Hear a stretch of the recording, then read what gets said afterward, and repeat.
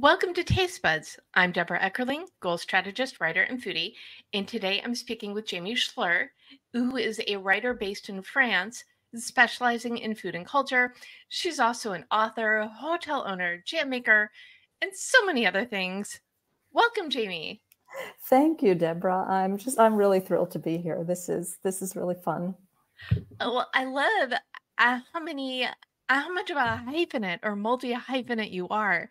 But I feel like let's start with you're in France. How I'm did that France. happen? I one day I was living in New York after college, working a job I didn't like, and nothing was going my way. And I said, I just I, I just had this urge I had to leave. And I had like money for a plane ticket to Paris, and that was about all I had. And two suitcases. Everything else got either given away or dumped on, literally dumped on the street in trash bags. And I just picked up and I left. It was just something I had to do. And the next couple of years were very hard because I would go back home in Florida to, to my parents to temp for a couple of months until I could afford to go back for another month or two to Paris. And I was back and forth for two years. And then I met a Frenchman and got married and settled down, had a family.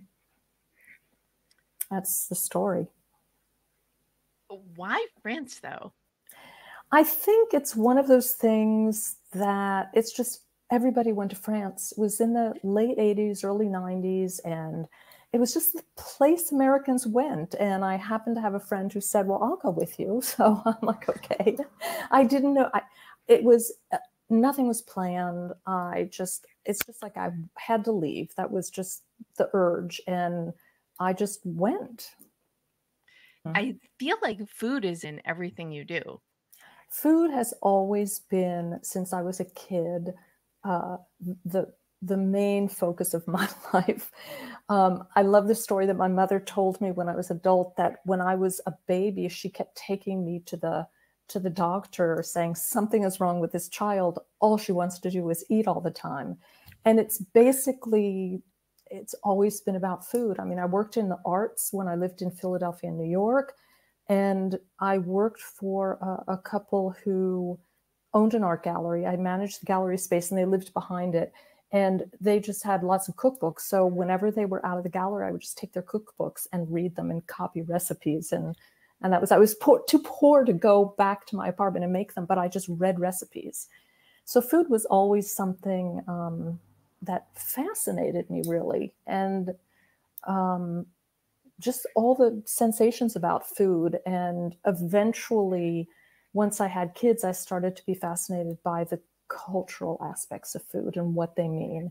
Um, because as i kind of started to tell you before we started ta- to tape um, you know we raised two sons that are american french jewish catholic um, with a little bit of North African where my husband lived before we married, and you know the Eastern European of my family, and to and then we raised our sons. Spent many years in Italy when they were very tiny, immersed in the culture.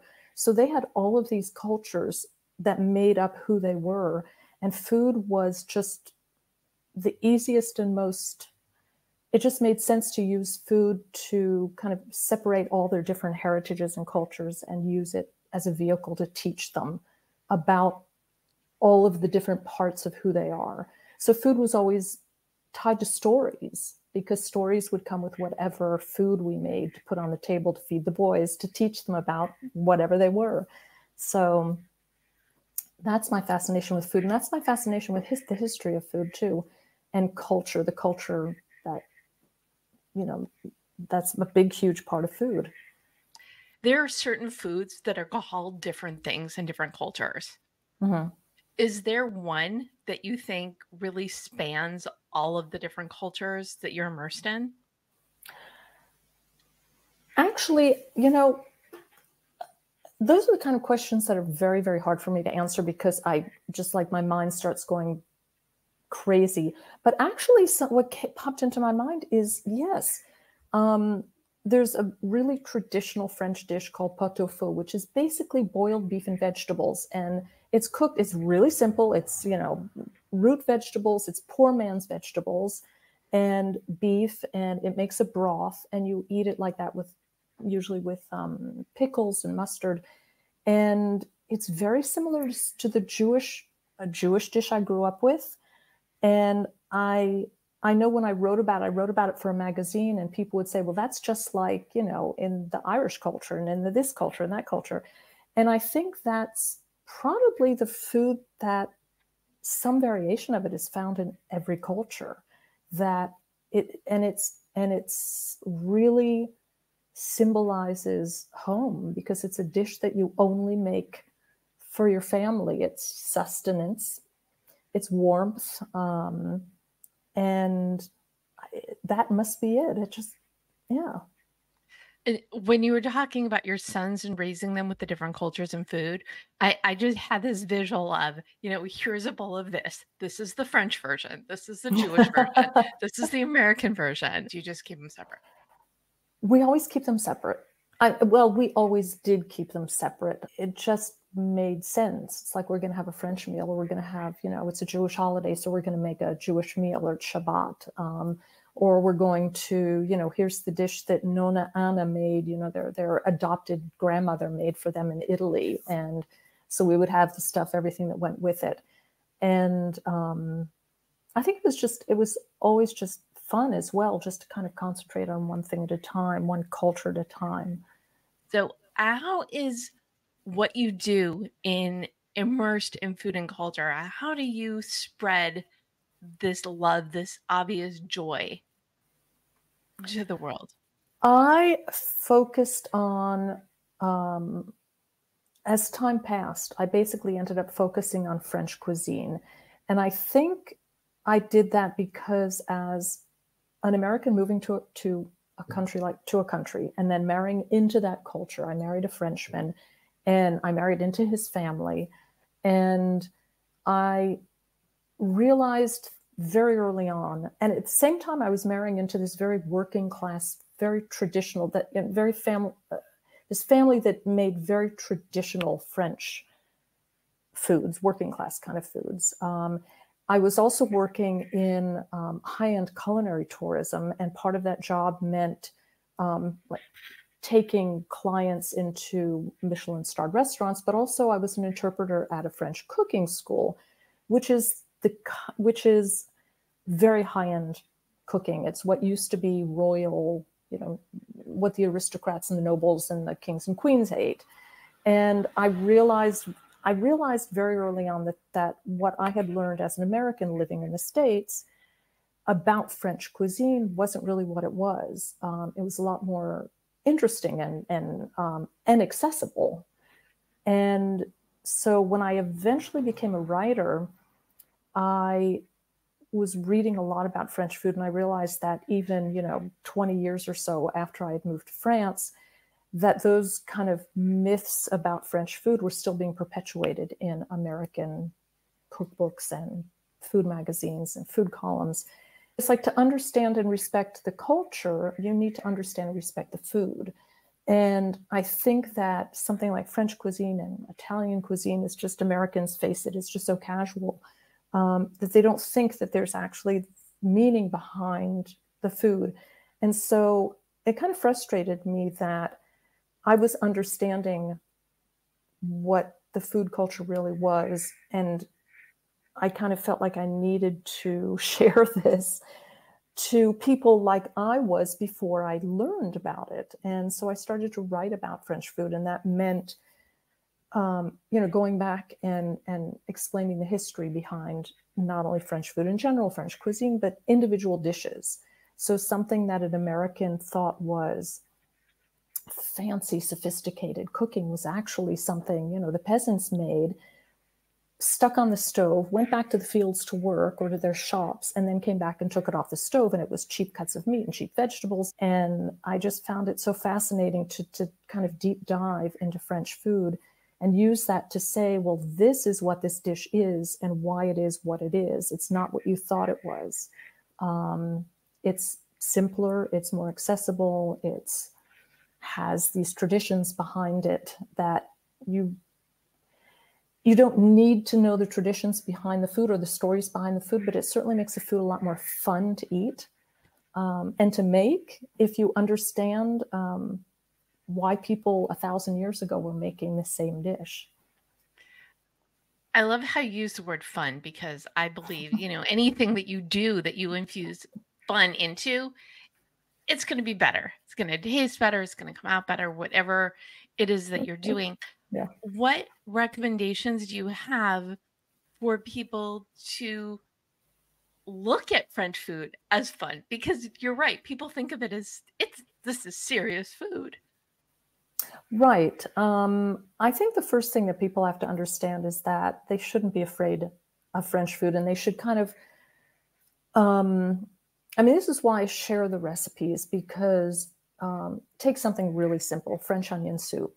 Americans have this, you know, vision of what it is. And when I looked, when I started to write a, a, a blog post about it, I looked at the articles that had been published in you know food magazines and food columns and newspapers in the states and the recipes were filled with you know a lot of fancy ingredients and a lot of excess, uh, expensive ingredients and it was complicated to make whereas and i'm like well wait a minute but my husband used to make makes this at home and he doesn't use any of this. He uses onions, salt and pepper, and water, and that's it.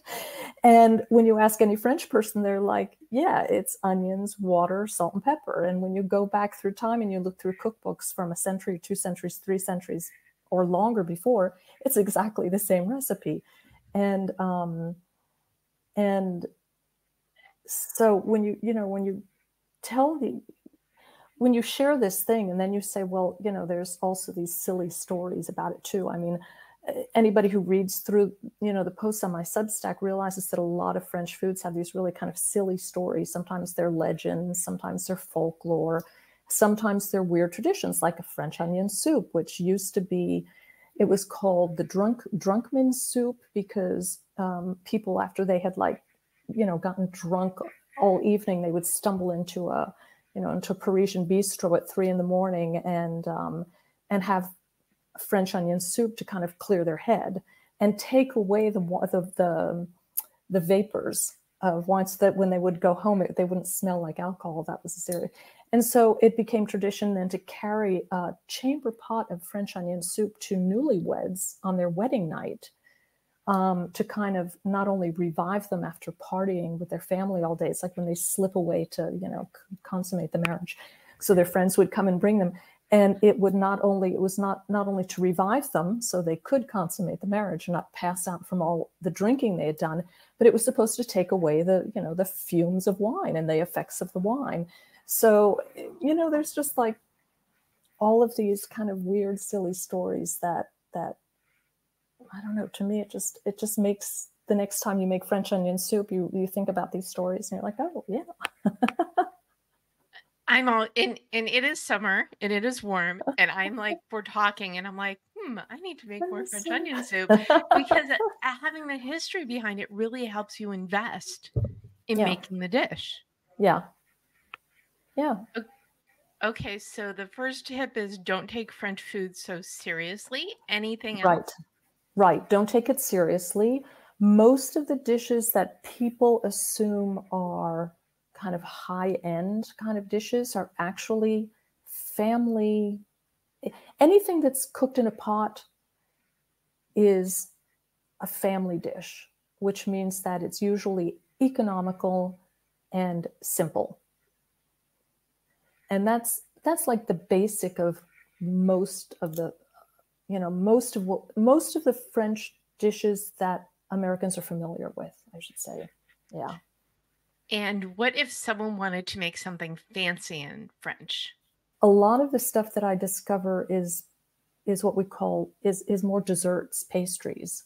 Um, because the french don't really do that much pastry making at home. They do very simple stuff um, pound cakes things like that so the majority of the desserts that you find, the pastries, are high end because they're what we call pastry shop pastries. They're they're they were made for either you know royal households or famous people's house, wealthy people's households, or for pastry shops. So those are more of the things that are that cost more money to make, that are take a lot of time to do. So as far as French food goes, everything that I've, you know, my husband, my French husband, and I put our heads together. It's like, what should I do next? And we just keep coming up with dish after dish after dish, savory stuff. And it's all it's all home cooking. And I'm trying to figure out now I've got to go back and research and figure out what what is still what are people still making that's really what I refer to as kind of royal aristocratic cooking dishes. And when you started talking about the fancy stuff, my mind went to desserts. Do you have a favorite French dessert? Um, I might have a lot of French desserts. Um, I mean, I just wrote about eclairs, but I actually like um, I like making choux puffs and filling them with pastry cream and icing them. I I love yes, I a couple of desserts that are that are very very local specialties that are not widely known are uh, the gâteau nantais. I lived in Nantes for for 12 years, um, which is in the west of France, and they have this specialty that's mostly a very dense kind of one layer cake that's made of a lot of almonds. It's almond rich, and then you soak it in rum. in a rum, rum sugar syrup, and then you ice it. And just a plain white powdered sugar and water icing, but I change out the water for more rum, so it's really heady. Um, and the other is a local specialty from Nantes and Angers, which is the next city over, which is a crémet, which is a, um, it's, you beat cream, you beat a kind of fresh cheese that's kind of like sour cream, but not as tangy. Um, and then you beat egg whites and you fold them all in together and you let it strain overnight so it kind of gets very mousse like. And there's sugar in it. And then you serve it with berries in the summer. And that's just a kind of thing that's that I love. And I, I think it's really interesting that it's both of those things really interest me because not only they're they really great, but they've always stayed local. There, there are these local things that just don't didn't travel outside this, you know, the region limits or the city limits. So it's interesting. So those are some of my favorite stuff. What final food for thought do you have for people like me mm-hmm. who want to start playing with French food? The thing is, ju- is just to stay calm. That's always my thing, and not be afraid of it. Um, you know, people are constantly asking me questions uh, can I change out this for that? Can I do this? Can I do that? And I'm the kind of person that says, just try it. If it doesn't come out, it's probably still going to taste good, even if it's not presentable. You can still eat it. But the thing is about French food is just, like I said, stay calm. It's simpler than you think, and it's it's a lot homier than you think. And when you start to look at a recipe and look at the ingredients, not the not the version that you know the the the the magazine version that has all kinds of liquors liqueurs in it and and wines and you know all these porcini mushrooms and all this stuff that's really not accessible to everyone. It's it's really ba- french food is really basic. I have to say i'm really good at baking and pastry but i'm not a great cook. I'm a nervous cook um, probably because i like the science behind pastry. So when you have a, a, savory dish cooking, I get nervous because it's more like playing it by ear. Um, but when you actually analyze what it is and why it is that way, it becomes very, very simple. And I think that's what people need to, to do. Is there something you know now that you wish you knew when you started this great adventure? What I love about where I am now, which I wish I had I had known about, you know, 20 years ago maybe, is um, just the the the information you can find in old texts and old cookbooks and now i read them. Um, a lot of places have them online so you can go and get you know 14th century 16th century 18th century cookbooks and texts and um, you know, treaties on on coffee and on medicine and whatever. Um, and I wish I'd started doing that earlier, reading a lot of this stuff that gave me a lot of background because even two years into my Substack, I go back and I read the early stuff before I had discovered a lot of these texts and thought, oh, I know so much more about it now. But um, but I always worry that I'm giving too much detail to my readers because it just the details are what fascinate fascinate me. So well, you clearly love all of the different elements of it. And mm-hmm. now if I have like any sort of cooking question, like beyond this century, I know who to call. Right. You can call me. You can find me on social media. I answer questions. People come to me with all kinds of questions. And my Substack, I love answering people because I love helping people become more comfortable with with discovering foods and cooking and um, you know, once in a while you get people say, Well, I don't cook or I can't or I'm afraid. You're just so good at it. And I'm like, No, I, you know, I learned and you just really need patience and and that confidence to do it. I mean, the confidence to actually say, well, I'm going to sit down and concentrate and read, you know, what it says, what the recipe says, and then understand it. And um, yeah, so I love answering people's questions. And where can people learn more about you and find your Substack? Well, you can find my Substack on substack.com, and it's called Life's a Feast by Jamie Schler. And on all my social media, Twitter, Instagram, probably every everywhere, I'm at Life's a Feast. Because life's a feast. A feast. I, I feel like we should have started with this. Life's a feast. So why not enjoy it, right? Isn't that the point? Yes it's it's it's enjoying, it's sharing, it's discovering. Um, and I learned a very very great lesson from my cousin Chuck, which I should I should heed more often, but people should heed, and that's um, even when you're alone, your meal should be special. And I think is absolutely right. Even if even if you know you're just getting you know takeout pizza, set a place, pour a glass of wine, you know, the good silverware that you took from your grandmother, you know, that kind of thing. It's um yeah, and I think having this Substack because the hotel gives me gives us no time. We used to cook all the time, my husband and I, all the time, two meals a day. Um, and with the hotel, we don't have time. So when we finally do, and we sit down and we set the table, it's like, oh, this we should do this more often because it's just so it's so special to be able to even if you're eating something simple just to say we made this we're putting it on the table we're sharing it and we're enjoying it. That's yeah. And i feel like i should have asked this at the onset but i'm going to ask it now. Where did the the name life's a feast come from? Because obviously it's so meaningful. I when I started my blog, uh, my blog blog, my first blog in 2008, I actually started it because um, I'd been working.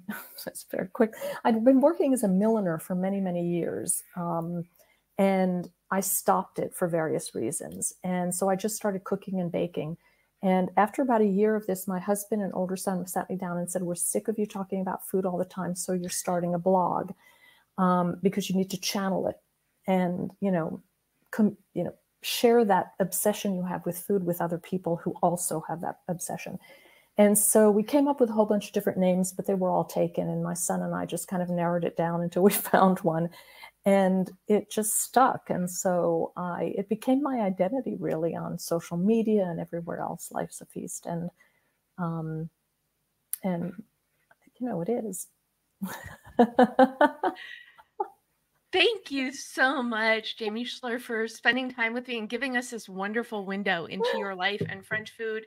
And thank you for tuning in to Taste Buds with Deb. Don't miss an episode. You can subscribe on iTunes, YouTube, your favorite podcast platform. And you can go to jewishjournal.com slash podcast to read the articles. And we're going to have a recipe from Jamie in there as well. And you can learn more at tastebudswithdeb.com. Go have fun with whatever you're doing because life's a feast. Until next time, bon appetit.